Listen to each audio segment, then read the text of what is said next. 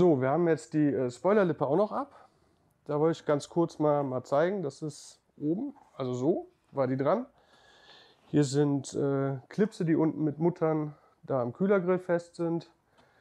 Hier waren Schrauben drin, beziehungsweise auch, äh, doch Schrauben waren es, Zehner. Und dann hier oben noch, okay, hier haben wir eins abgerissen. Und da sind auch noch Klipse drin und eben die beiden Schrauben noch im Radkasten. Ja, so sieht die Lippe aus, wenn man sie abnimmt. Ja, ähm, Kollege hat gerade noch gesagt, das ist nicht die originale Spoilerlippe, das ist die Original Toyota Zubehör Spoilerlippe. Im Gegensatz zu der TTE Spoilerlippe hat die hier, also die TTE Spoilerlippe hat hier noch runde Lufteinlässe. Und ja, also es gab die, die von TTE und die Originale, die irgendwo in der Garage liegt. Die schmeißen wir später noch in den Kofferraum, wenn die Kiste weggeht. Und ja, das ist äh, Files für die Abschleppschlaufe oder den Abschlepphaken. Schlaufe war nicht dran, weil wir damit, wie man sehen kann, auch schon vier sogar. Vier GLPs sind wir damit gefahren? Ne, drei. Eins wurde abgesagt, weil da Nebel war und die abgesagt haben, weil Nebel war. Wegen dem Nebel. Okay. Da war nämlich Nebel. Ja, ansonsten, ja, GLP sind wir damit schon gefahren, haben sogar einen Pokal damit geholt. Und ja, ansonsten nähert sich die ganze Umbauaktion auch jetzt langsam dem Ende. Wir machen jetzt noch die Hutze weg. Hutze, Stutze und dann äh, die Sonnenblenden raus, hinten noch eine Verkleidung rein und dann sind wir eigentlich auch schon fertig. Okay. Waschen, waschen tue ich die Kiste nicht mehr, aber habe auch keine Lust.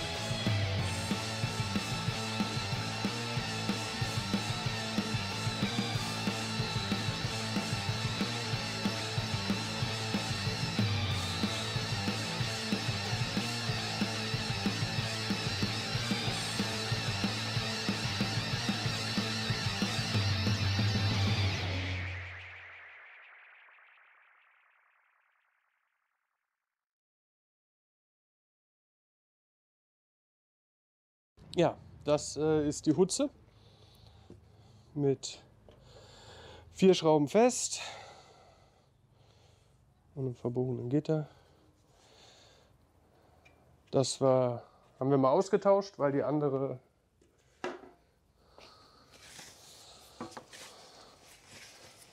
von unten genauso aussieht. Aber von oben nicht mehr so schön. Aber die kommt jetzt auch wieder drauf. Und dann äh, sind wir mal gespannt, wer sich für die Kiste erbarmt. Kannst du das Gitter noch abschrauben? Das Gitter. Das ist ja verbogen. Da ist doch noch ein Schlitz. Manchmal kann ich dich nicht leiden. Das Gitter ja noch abschrauben. Ist mir doch egal. Das Gitter ja noch abschrauben. Kann auch einfach einen Kanister Benzin nehmen und den drüber kippen. Haben wir nicht hier. Wieso nicht? Machen. stellst dich an. Ein kleines Mädchen. Da, schenke ich dir. Danke.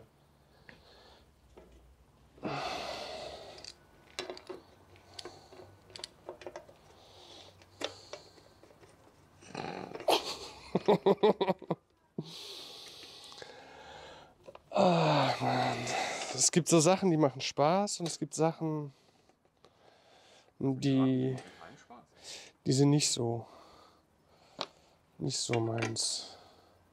Da. Wieso ist das so schief? Das weiß ich nicht. Da ist sicherlich ein Vogel reingeflogen. Uh, ist ein Vogel.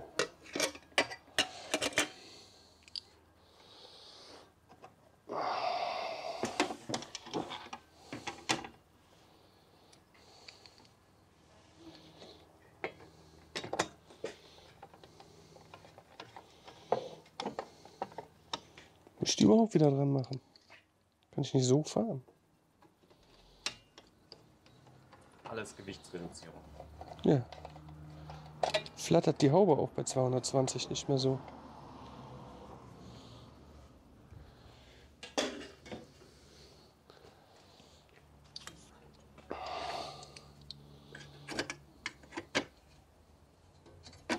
Das ist falsch rum, oder? Ja, ja. Guck mal, so passt auch viel besser.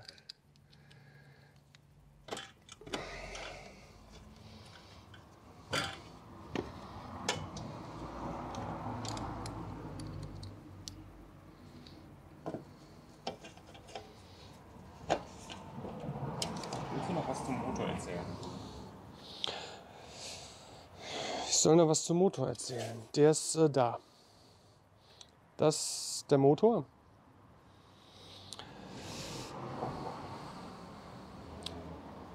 Der ist da. Das an sich ist der, ist der gar nicht mal schlecht. Das Problem ist nur, dass der verdammt durstig ist. Und damit meine ich nicht Benzin. Ich meine, der hat jetzt über 300, ich glaube 330 oder was gelaufen. Ich weiß es nicht. Ich meine ja. Wie mache ich das? So. Ja, also der hat. Doch so, ne?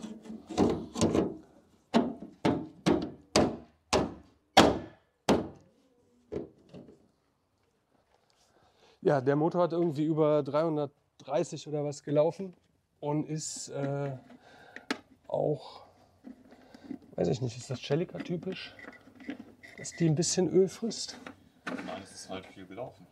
Okay, also nicht Celica typisch, aber also ich sag mal, auf 1000 Kilometer sind das schon 2-3 Liter, die da mittlerweile weggehen, würde ich jetzt mal so pauschal sagen. Und das ist ja, ist ja auch nicht gesund. So, und die Sache ist, um das alles zu machen, ich meine, ihr habt jetzt schon einen kleinen Einblick gesehen, was alles nicht mehr so ganz gut an der Kiste ist. Ich äh, mache da, wenn ich Zeit und Lust habe, noch ein komplettes Video zu, was das hier äh, überhaupt für ein Ding ist. Das war ein bisschen nicht so schlau. Ähm, aber das sind die besten Entscheidungen. Oder zumindest die lustigsten. Ähm, ja, es lohnt sich einfach nicht. Also wir hatten kurz überlegt, äh, die, die Kiste halt wirklich wieder fit zu machen, wieder äh, auf den Stand zu bringen, wo man mal zumindest regelmäßig damit fahren kann bei Wind und Wetter. Aber das ist viel Kosmetik. So, da, da will ich, so weit will ich gar nicht ausholen, aber es ist halt einfach die Technik. Der Motor frisst Öl, der Motor ist alt, der Motor ist viel gelaufen. Äh, Kupplung mussten wir noch neu machen lassen. Das sind auch äh, 600, 700 Euro. Und ähm, das ist einfach ärgerlich. Und das ist das. Wir haben hinten, wo der äh, Unfallschaden ist, hatten wir schon mal ein bisschen nachschweißen lassen, weil sonst der TÜV gemeckert hätte. So, das hat auch ein paar hundert Euro gekostet. Ähm, ja, die Schweller zu machen, die die ganze paar Stellen hätte man nachlackieren müssen und das war dann einfach der Punkt, wo wir gesagt haben, so, es bringt jetzt nichts mehr. Und dazu kommt, dass wir noch ein, zwei andere Projekte am Laufen haben und da eben auch noch Zeit und Geld äh, investieren müssen. Ja, hat die Gute jetzt hier leider den kürzeren gezogen. Ich bin gerne mitgefahren, fahren tut die grundsätzlich gut. Aber lohnt sich halt nicht mehr. es, es lohnt sich nicht. Es ist einfach, der, der Vorbesitzer hat die Kiste leider so äh, vergammeln lassen, dass da echt nichts mehr, mehr hilft. Und die Sache ist, wenn man jetzt einfach mal, das kann man auch mal dem Video festhalten, ähm, wir haben die Kiste ja gerade hochgebockt für äh, den Reifenwechsel. Bevor ich losgefahren bin, hatte ich noch Öl gecheckt. Da ging die Motorhaube noch ohne weiteres auf. Hier liegt noch ein Schraubenzieher drin. So, ja, okay, man sieht es jetzt nicht, aber man, man kann das vielleicht erkennen, dass ich hier das nicht mehr so sauber hochkriege. Also runter geht noch, aber ja, es ist, äh, hat sich vielleicht ein bisschen verzogen. Aber sehen tut man es nicht. Okay. Ja. ja, wenn sich das hier in der Befestigung drin, aber ich weiß es nicht. Es ist schade drum. Kannst auch noch mal, äh, noch mal die Felgen im Detail zeigen. Das ist auch so was. Ich meine, wer macht sowas? Das ist auch.